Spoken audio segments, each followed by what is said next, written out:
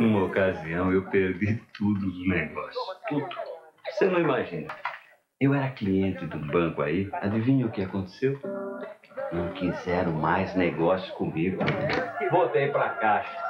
De onde, aliás, rapaz, eu nunca devia ter saído. Faz tempo isso. Hoje, volta e meia, me aparece um gerente. Convenha, precisamos conversar. Conversar é uma pinóia. O negócio é a caixa, não tem jeito. É na hora do vamos ver que a gente conhece.